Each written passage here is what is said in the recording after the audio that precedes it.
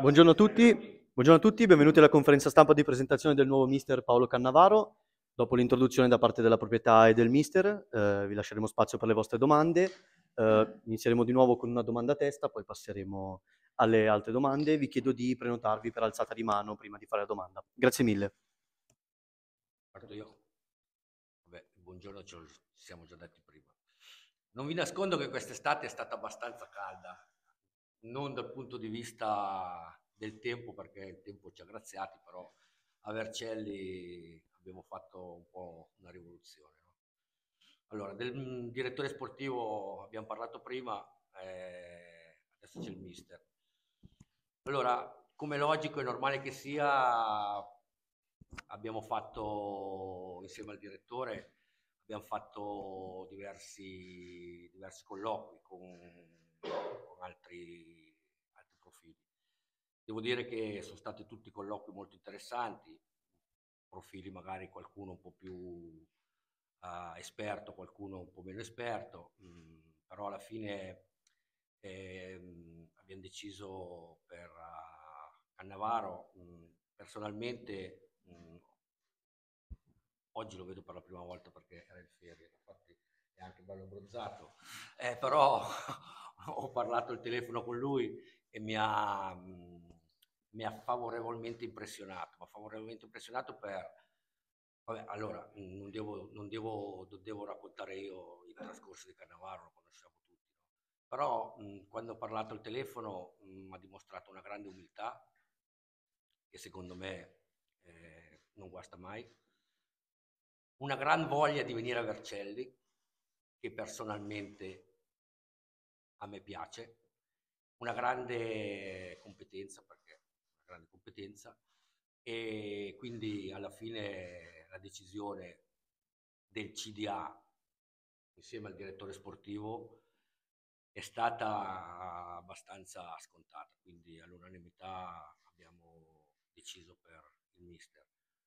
Mi ha detto al telefono, mi ha detto che mi ringraziava, ho detto non devi ringraziarmi mister, devi venire qua e sputare, far sputare e sputare sangue a, ai giocatori. Poi lo lascio. Buongiorno a tutti. Intanto ringrazio il Presidente per le bellissime parole. E effettivamente ci siamo sentiti e le parole sono state quelle. Sono state quelle e non vedo l'ora di iniziare e ripagare la fiducia che mi è stata data soprattutto. Ci siamo parlati, confrontati, eh, so che vengo in un posto dove c'è ambizione, c'è voglia di far crescere i giocatori, c'è voglia di proporre un calcio che comunque porti gente allo stadio e faccia venire la gente con eh, passione e divertimento a vedere le partite. Sarà un, una bella full immersion soprattutto dall'inizio perché decido di cambiare diciamo un po' vita e lavoro e ho in testa tante cose da voler provare e provare a far fare ai miei giocatori e quindi questo comporta grande entusiasmo soprattutto dai primi giorni e grande, grandi ore di, di dedizione al lavoro soprattutto da parte dei ragazzi. In questi giorni mi sono sentito spesso anche col direttore e stiamo comunque pianificando un po' il tutto per far sì che si parta soprattutto col piede giusto. E sono veramente contento di essere qui, ma non lo dico tanto per, ma perché ci credo veramente. È una bella, è una bella possibilità, è una grande chance per me perché si sa che quando poi si inizia ad allenare da soli, la cosa più difficile è trovare chi crede in te. E io da questo punto di vista mi sento, mi sento veramente voluto in questo posto. Eh, quando mi è arrivata la chiamata da parte di tutti insieme per dire se il nostro allenatore dentro di me si è acceso un fuoco, che è quel fuoco che io terrò sempre vivo e, e proverò a tenerlo vivo anche all'interno dei miei giocatori. Diciamo che, direttore, ci siamo detti un po', siamo usciti un po' tutti dalla comfort zone, il sottoscritto, direttore e la società, perché ognuno di noi sta facendo una scelta al di fuori della comfort zone. E credo che questo sia un, un valore aggiunto e sarà la nostra forza sicuramente. Poi se avete qualche domanda mi, mi facilitate anche quello che sicuramente vorrete sapere voi.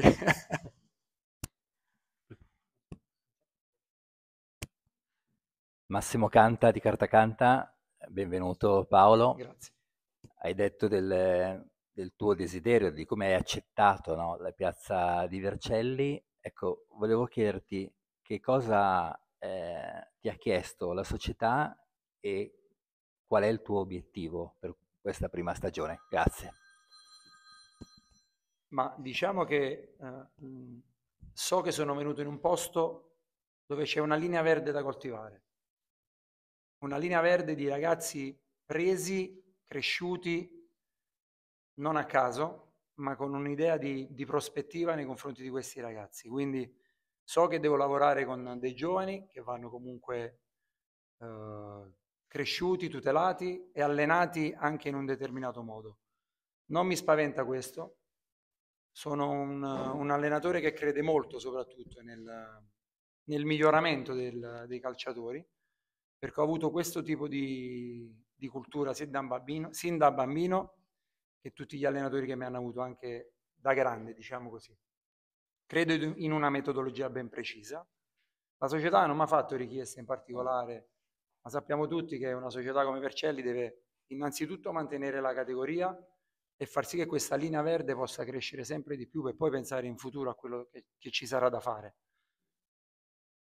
Grande umiltà, sicuramente, da parte del sottoscritto e da parte della squadra nell'affrontare l'annata ma grande dedizione al lavoro è una cosa che imporrò ai miei giocatori, ma non perché è una legge, ma perché per un percorso di crescita ci vuole dedizione al lavoro. Quindi questa sarà un po' la, la linea guida.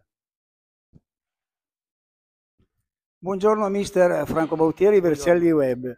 Eh, senta, lei conosce il girone A, eh, forse è il più tecnico e soprattutto là dove ci sono molto più giovani che rispetto agli altri gironi. Nel meridione c'è molto più pubblico, c'è partecipazione, eccetera, altri investimenti.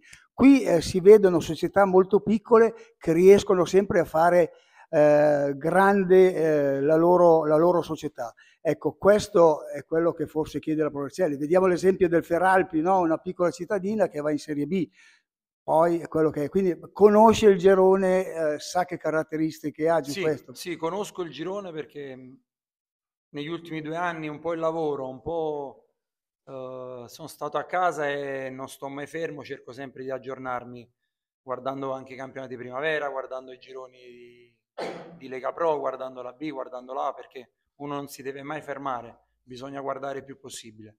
So che questo girone ha qualcosa in più dal punto di vista tecnico.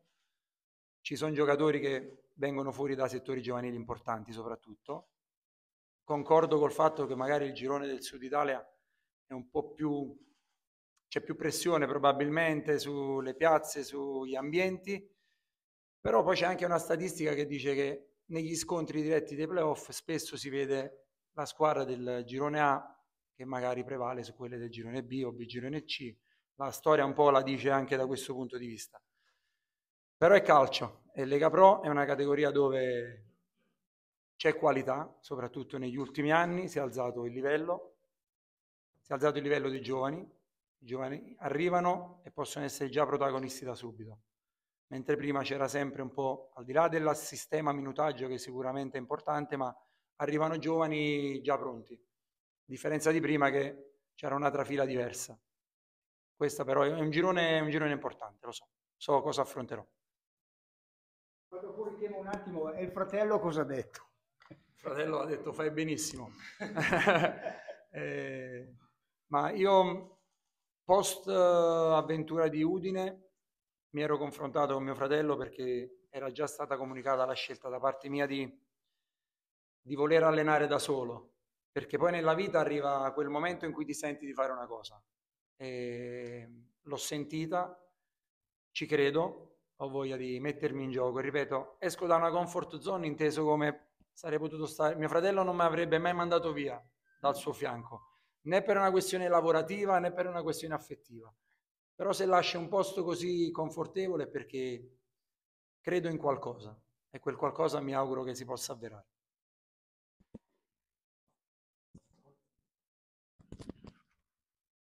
Buongiorno mister, Paolo Torti, Vercelli Web TV. Uh, io avrei più domande, però cerco di, di concentrarle. Innanzitutto, ah scusa, innanzitutto complimenti per la forma fisica, penso che Spalletti abbia perso un'occasione. Visti i risultati, visti i risultati. Comunque, benvenuto. La domanda è la seguente, penso che la sua emozione sia, sia evidente e questo depone a suo favore e a favore della scelta della società. E le chiedo questo, negli ultimi anni effettivamente lei ha ragione, la qualità dei giovani si è alzata, un po' sono state scelte obbligate diciamo da un punto di vista economico, un po' qualcuno ne ha fatto proprio una mission diciamo. Eh, il girone A ha dimostrato che è un girone dove però corsa e grinta valgono forse il 70%.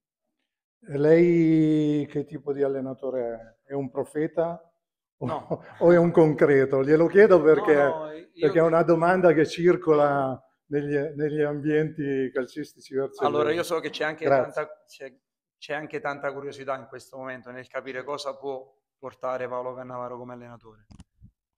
Sicuramente saper lottare prima di saper giocare è una cosa che è fondamentale nel calcio, al di là del girone al di là di dove si giochi del paese. Io vengo da esperienze anche estere, dove si pedala.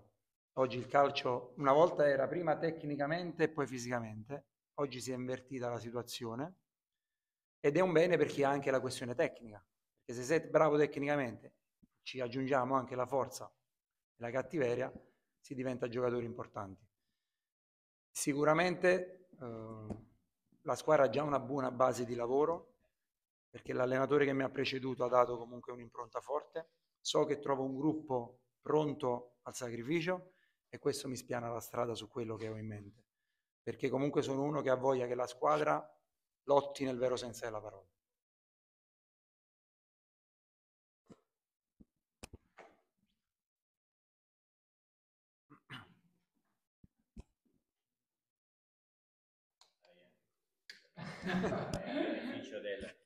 Grazie Mattia, Paolo D'Abramo, Eusebiano e Vercelli Web TV. C'è grande curiosità per sapere se viene Paolo Cannavaro con uno staff, con dei collaboratori o se verranno stabiliti dalla società. Grazie. Allora, io ho trovato, um, partiamo dalla società, dalla struttura che mi è stata messa a disposizione. Struttura già ben avviata, con delle figure già messe uh, a disposizione struttura anche, basta guardarsi un attimo di fianco e vedere che c'è un campo che la dice lunga, è un sintetico di ultima generazione, quindi significa garanzia per gli allenamenti e per la gara.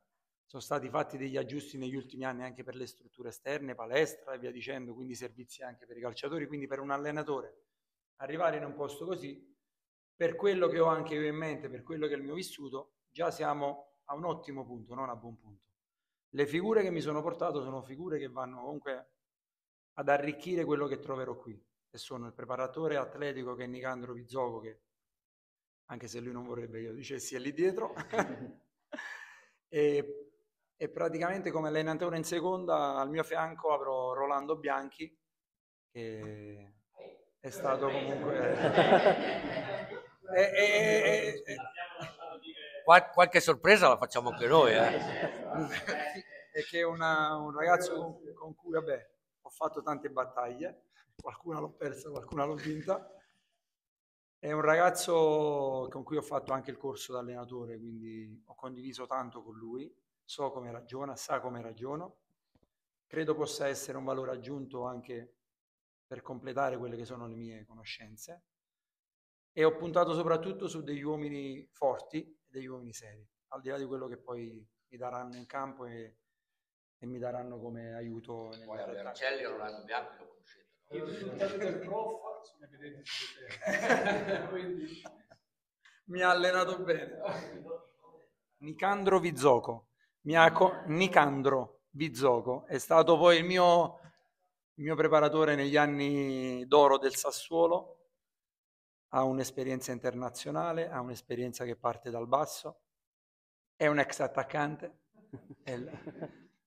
Eh, sì. Cerchiamo di fare più cose possibili, quindi non ci fermiamo al, alla normale. È una persona in cui credo, è una persona che da quando ci siamo visti i primi giorni a Sassuolo è nata un'empatia forte, coltivata nel tempo e oggi sono contento che, che è qui al mio fianco in questa avventura. Grazie a tutti. Facciamo le foto?